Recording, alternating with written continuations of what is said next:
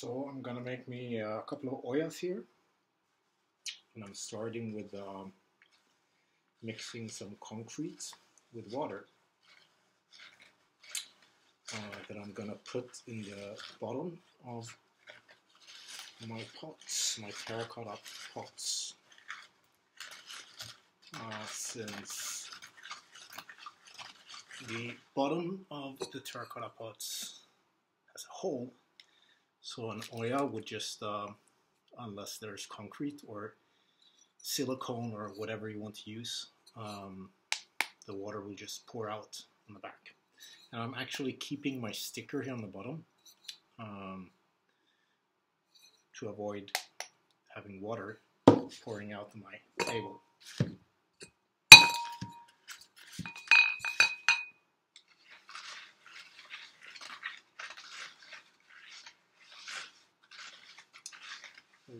Way too much water in my concrete.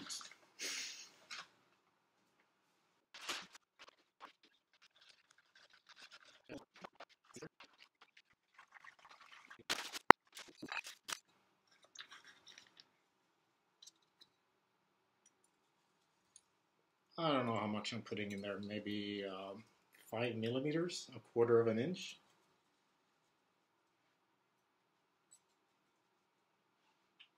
Just enough to cover it and make it stick in the hole.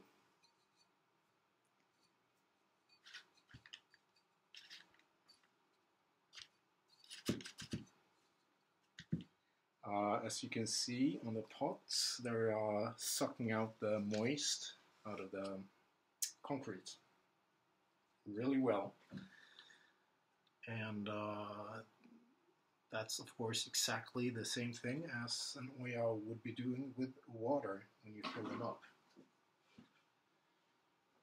So now I'm gonna put some silicone on top, on the edge and then I'm gonna glue on a second uh, pot on top of that. Let me get the pots.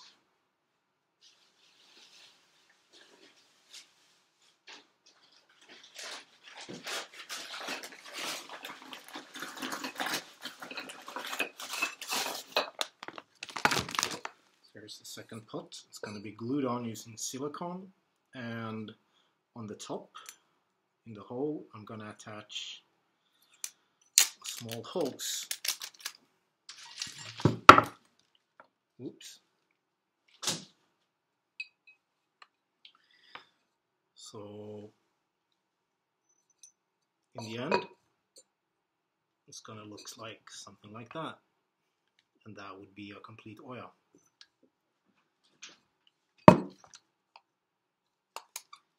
So I'm using uh, an aquarium grade silicone, which is uh, used to put together an aquarium. So it's um, a food grade silicone. It won't kill you. It won't kill your fish. And of course you won't be um, putting toxic things into your uh, soil. And I've, I've seen a lot of people using PU glue, like uh, Gorilla Glue, and that's actually quite toxic.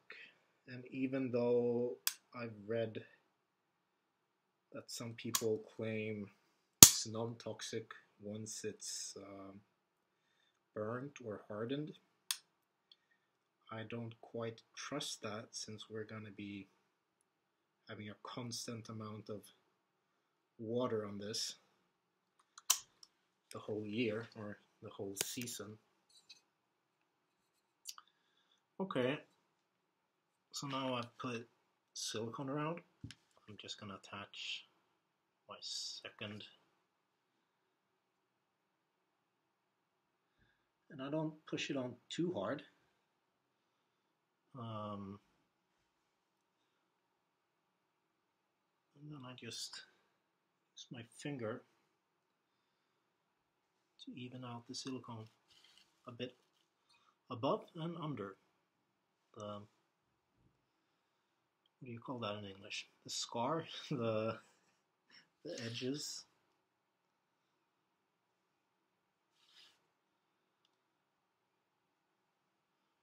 Okay, that's one.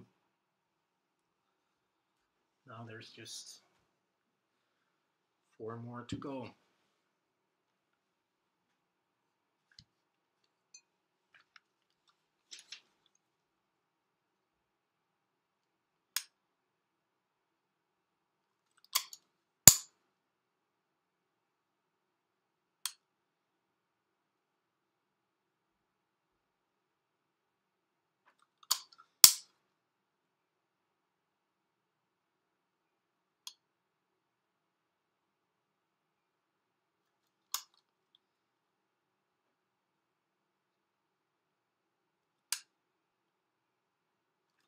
So I think I paid about um, 60 krona for the silicone, which equates to just about 6 euros. And I paid about 10 krona for the for each pot and the hose is about a hundred krona for 30 meters I think or was it 200 so altogether that makes each Olla costs 25 to 30 krona which then is 253 euros something. And it's totally worth it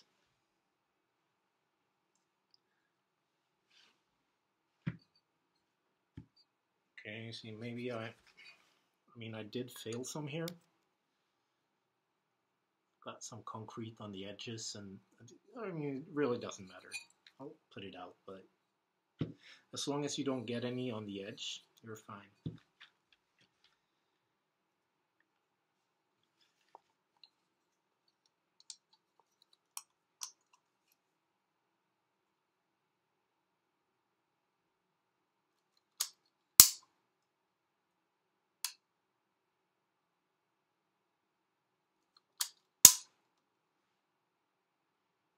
And uh, rather use too much than too little silicone, of course, and just smear it out.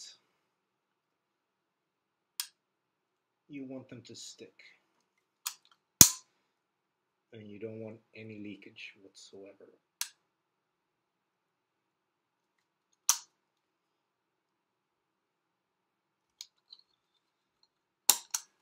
And you know this thing, that's a good thing that uh, if you don't push it, it'll just keep coming silicone here in between and you'll make a mess.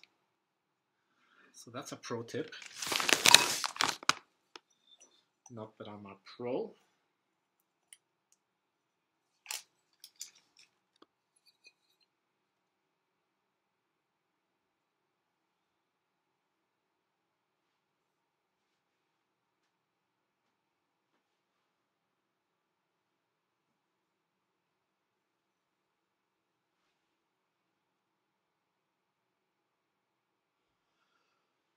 And uh, one of the reasons that I don't push it all the way down is that you actually get a bit of um, wiggling. What do, you, say? You get you're if they're actually on to each other, that they won't handle expansion and, and things as well from heat or whatnot.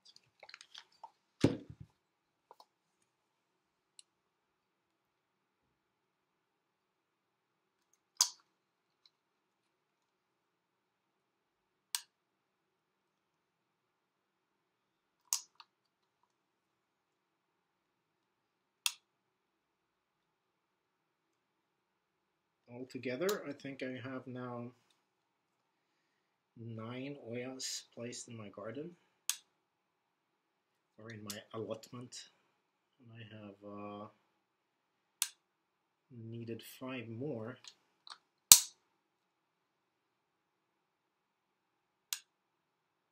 And it works so well. I have a half cubic meter of water, which is 500 liters in a water tank. That's about, I don't know, 120 gallons.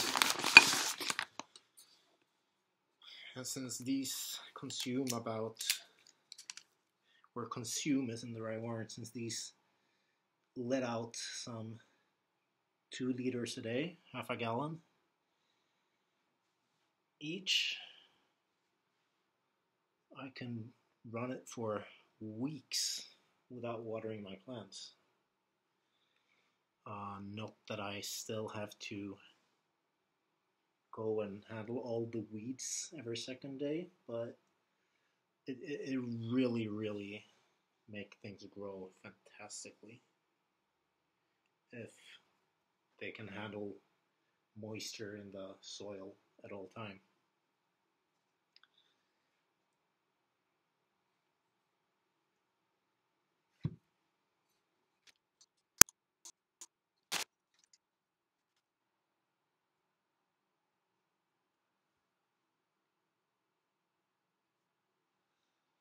Yeah, I sort of messed this last one up a little bit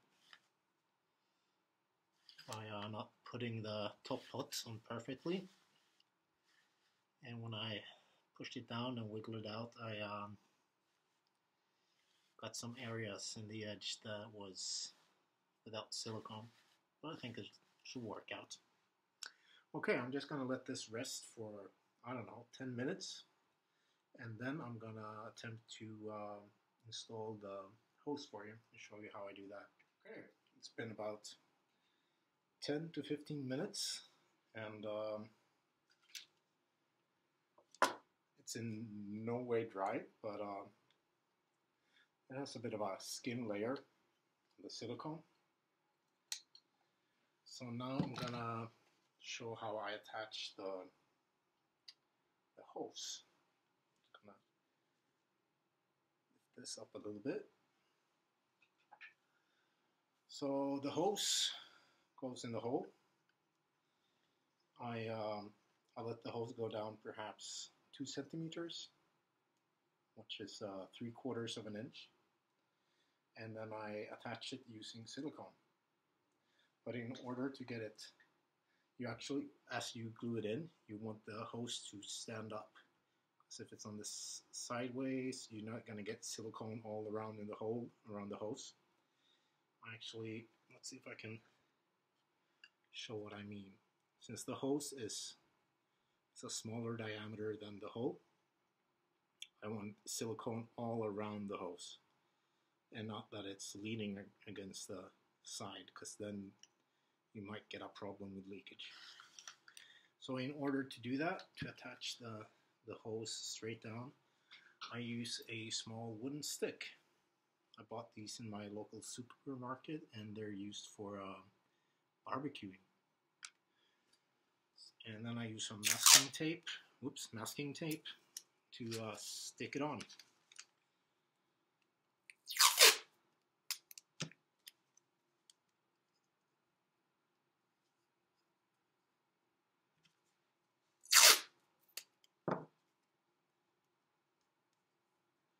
Okay, so now it's attached pretty well. Uh, and then I use a good meter or more of hose. And although that is way more than required usually, it's much easier to make something shorter than it is to make something longer when you put it out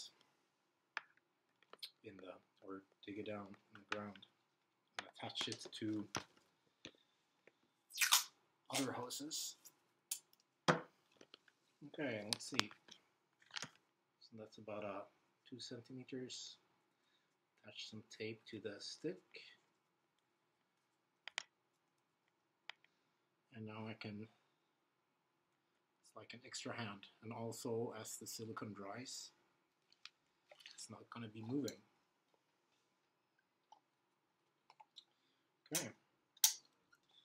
Almost out of silicone. I hope it's enough for all five.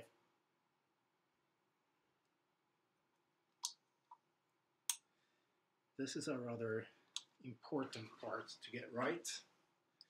You really don't want any leakage on top. I mean, it's okay. I, I actually have one olla that has a little bit of leakage. And uh, what happens is that it release a little bit more water. But it's not that much at all. Okay, so here we go. I just put a whole bunch there around and inside and then I smear it out to uh, remove any air bubbles and whatnots and also make it a bit more attached further up on the hose.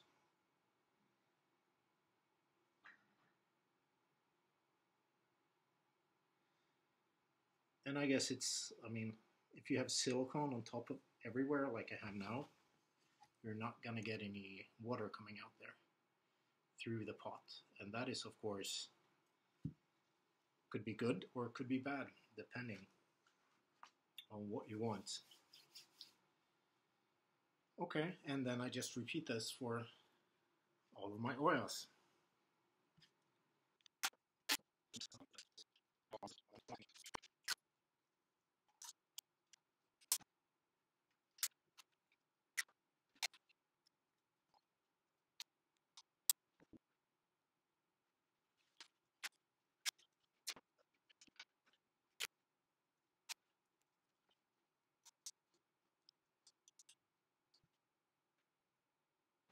Alright, so that's five ollas. Now I'm just going to leave this dry for,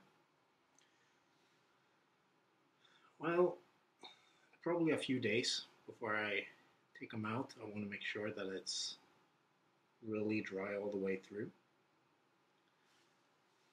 And then I can take them down. I'll uh, get back in a few days and uh, show when I put them in. Okay, here is my allotment. To the right is my water tank. It's a passive system. It's just using gravity pushing down water into the hose. And I have a few uh, spare meters for future connections. And it goes to my uh, zucchini corn and beans. The latter is hidden behind the cover. Um, and then you'll see my tomatoes and uh, dug down olla that I put there 24 hours ago. And quite a bit of moist.